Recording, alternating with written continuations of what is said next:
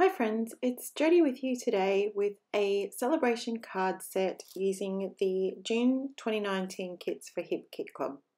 My jumping off point for this project is to use some mixed media elements and I've done that by pulling the stencil from the June colour kit and some of the Lindy's Stamp Gangs Magicals. So I'm using the Hottie Patootie Hot Pink and the Summer Lovin' Sun Magicals and I'm just mixing them with some texture paste.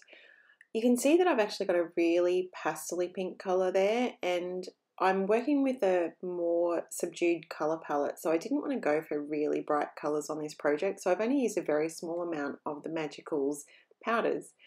Um, you can see there I've done a couple of extra colours. I did the apricot colour as well using a previous colour kit but I didn't end up using that and I've got the yellow there as well.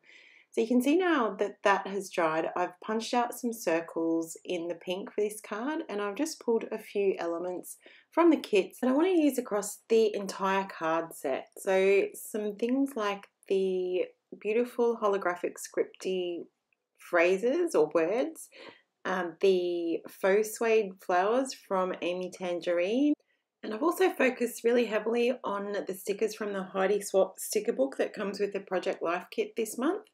Uh, it's really awesome and even has two separate alphas in it. Um, one of those is what I'm cutting out there at the moment. Another thing that I've put onto each card is a frame.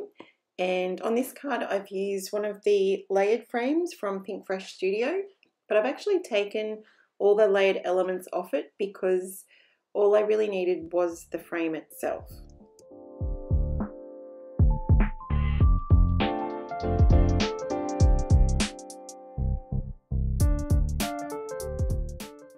Card set, I don't have any particular design or layout that I'm working towards. I'm just wanting to use all of the elements that I've pulled to use on the cards in a pleasing manner. Really, I'm just cascading or layering them across the card. You can see the frame that I'm using in this one that was one of the Pinkfresh Studio layered frames and I mentioned earlier that I've just pulled off all of the layered elements on it they were stitched originally, so what I've done to kind of mask that is just stitch over the original holes that were left with a gold thread and it really doesn't look out of place at all and adds a lovely pretty textural element to each of the frames. With the holographic scripty word there that says day for this card, that is part of my sentiment and you can see that I've just adhered some of the, the alphas from the Heidi Swapp Color Fresh sticker book just to some white cardstock and then I've cut around them.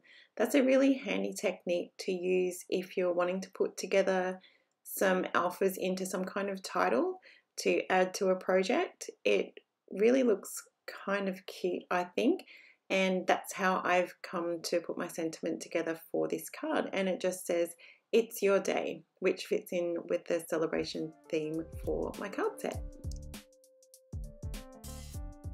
I've used a bunch of circle elements on these cards, and a lot of them come from the Heidi Swapp sticker book.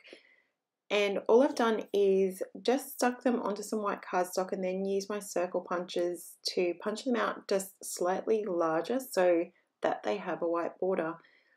The largest circles in, I think, all of the cards, I've actually also hole punched and turned them into a little circle tag kind of element and just threaded some white thread through them and I think that looks pretty cute with them just popping up on top of the card there.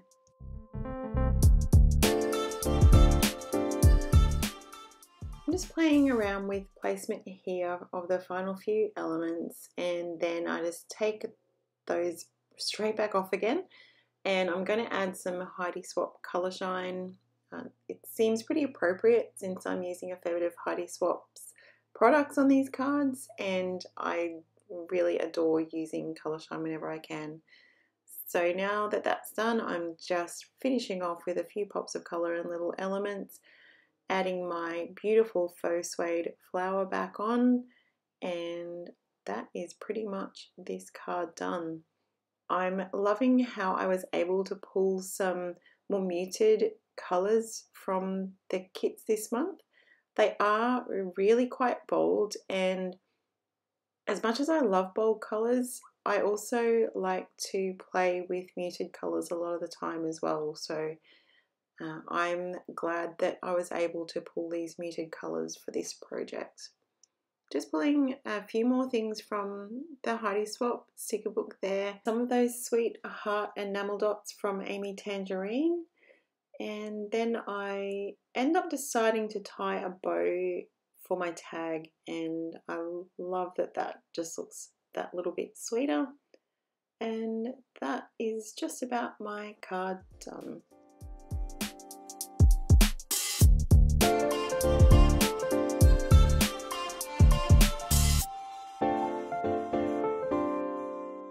My second card has a lot of similar elements from the kits that I've used on the first one. I have actually used some Summer Lovin' Sun Lindy's Magicals over the stencil to create that pattern and circle punch those out. Uh, you can see that I've got one of those scripty words again and circle elements, uh, the Heidi Swapp letters and a frame from the kit as well.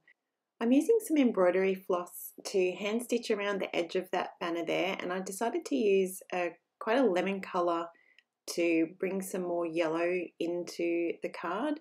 There's yellow from my mixed media already and there's also a pop of yellow on the little rainbow on the Heidi Swapp stamp element but I also wanted to bring in some more yellow just to make the whole design more cohesive with colours. This green frame that I'm using for this card is smaller than the Pinkfresh Studio frames that I have on my other two cards. So I've decided to just bump it out a little bit with a white cardstock border and that just makes it sit that little bit bigger on the card and fill a slightly bigger area. I decided to cut the center out of my frame so I can have some sort of a see-through element there. I'm not exactly sure what I'm going to do with it at the moment, but I knew that I didn't want to have a solid white background behind it. I'm just adhering the green frame to the white background now. And I also decide to use stitch it with some gold thread since I stitched my other frames with gold thread as well to cover up the holes that I created when I pulled them all apart.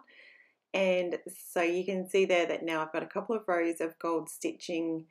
It's not really hugely, it doesn't stand out a lot on the frame, but it just adds a nice little extra touch.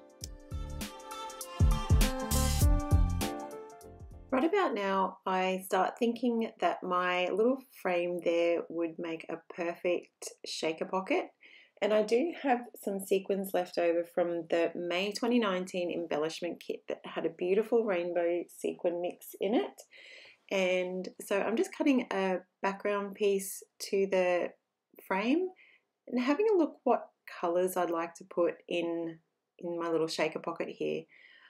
I do that a bit. I often don't use the entire range of colours in a sequin mix, so I just pick and choose a few different ones. It can be a little bit tedious to pick out the colours that I want, but it doesn't take too long. And I'm someone that likes to have really only a few colours on my projects. I don't like to put all the colours on all the projects all the time. I generally stick to three or four colours and that's just my style. Now there's nothing complicated about making a shaker pocket at all. All you need is something for the top to hold the shaker contents in and something on the back to seal it all in. I normally even use just packaging from scrapbooking products, but I searched through my bin and I think I must have thrown all of my packaging out. So I also keep some acetate handy just in my stash and that's what I've pulled out today because I couldn't find any packaging. So I just adhered that to the frame. I cut it to size obviously. Then you just need some foam tape to create the little hole for your shaker contents to go into. And it's a good idea to make sure that all of those foam tape pieces do match up, especially if you're using something like a glitter in your shaker pocket. so that all the little bits and pieces can't escape.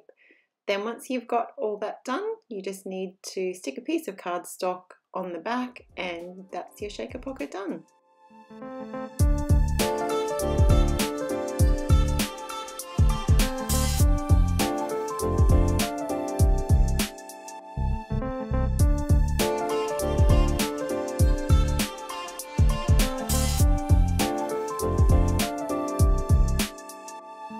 So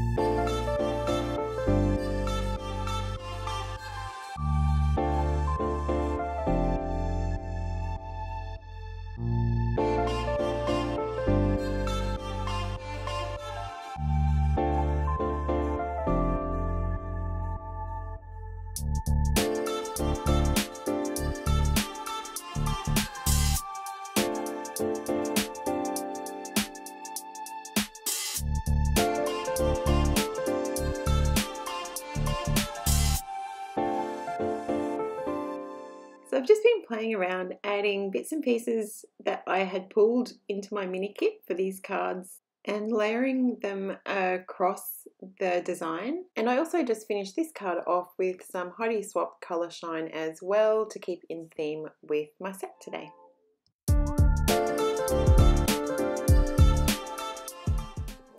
My third card has a stitch banner on it as well and I'm just quickly stitching that out in a pewter coloured embroidery thread. And for this card, I'm also using one of the Pinkfresh Studio frames that I've pulled all the extra elements off and stitched some gold thread on there to cover up the holes that were left as well.